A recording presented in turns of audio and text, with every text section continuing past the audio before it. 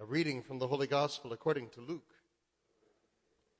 Jesus said to his disciples, I tell you, everyone who acknowledges me before others, the Son of Man will acknowledge before the angels of God. But whoever denies me before others will be denied before the angels of God. Everyone who speaks a word against the Son of Man will be forgiven, but the one who blasphemes against the Holy Spirit will not be forgiven. When they take you before synagogues and before rulers and authorities, do not worry about how or what your defense will be or about what you are to say. For the Holy Spirit will teach you at that moment what you should say. The Gospel of the Lord.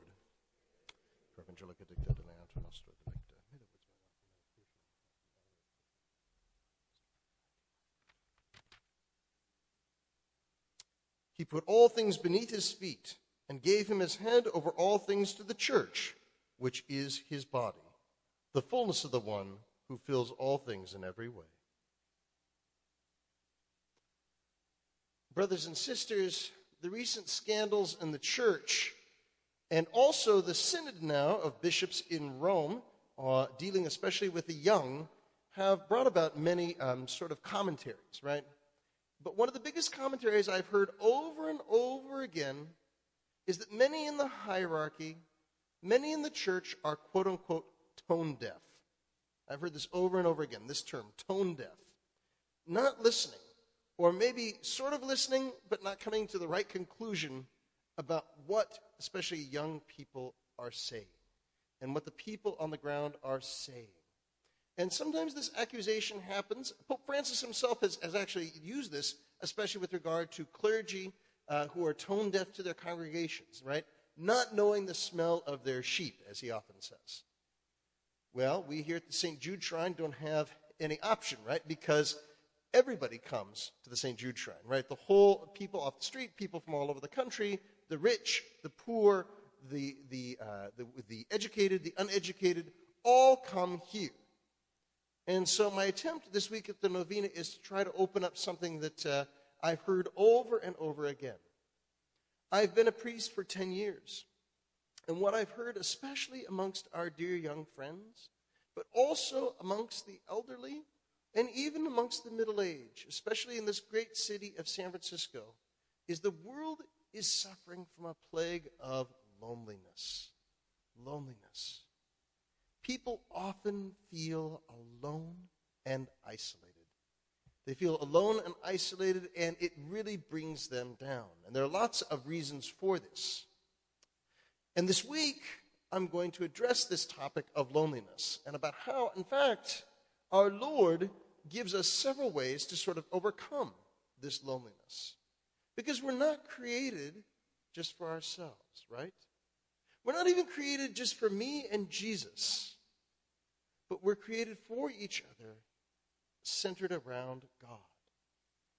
We hear this today in St. Paul's letter to the Ephesians, where he talks about gave him over to all things to the church, which is his body. And the church being absolutely essential to the biblical story, and the church being ab- absolutely essential now. That we have each other to help get us to God. And in having each other, God willing, will also help overcome our loneliness. This week we'll speak about many things. We'll speak about friendship. We'll speak about friendship with each other here. We'll speak about friendship within the church. And we'll speak about friendship with the saints above. And ultimately, friendship with God as a way to help overcome that loneliness and draw us into communion with each other and with the Lord. And ultimately, as something that will help get us to heaven. But today, as we begin, we begin by invoking our Blessed Mother. She is the icon of the church. She is the one who is the most perfect disciple of the Lord. And I'll come back to this later in the week, but she also knew solitude. She also knew being alone. Our late uh, Holy Father Emeritus, Pope Benedict, in his book Jesus of Nazareth, pointed out something to me about the Annunciation Gospel I had never thought about. It's at the very end of that gospel the angel Gabriel comes and gives this beautiful message to Mary, right? To this young girl, to a young person. You will bear the Son of God, There's some questions back and forth, and eventually Mary, of course, issues her fiat Let it be done. Let it be done unto me. And she's told about Elizabeth, she's told about all these other things that are going on, but what's the very last line in that gospel? Do you all remember? Then the angel departed from her.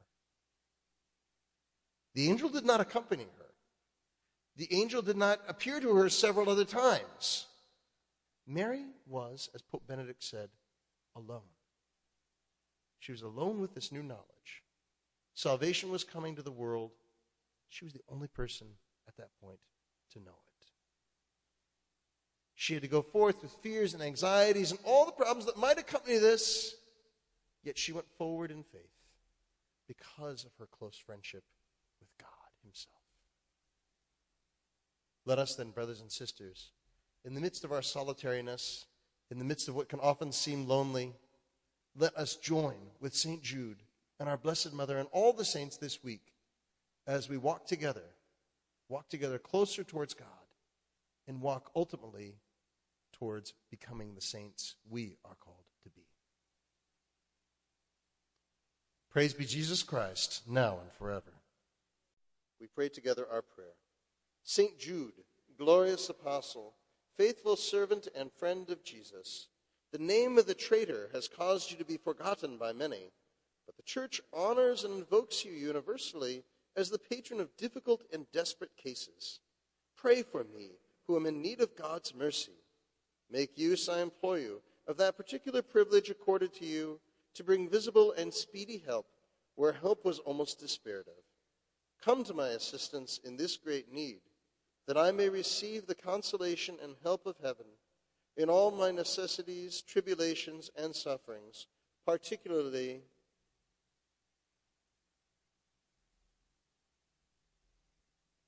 and that I may praise God with you and all the elect throughout all eternity. I promise you, O blessed Jude, to be ever mindful of this great favor. I will honor you as my special and powerful patron and encourage devotion to you. St. Jude, pray for us and for all who honor and invoke thine aid. Amen. Please be seated.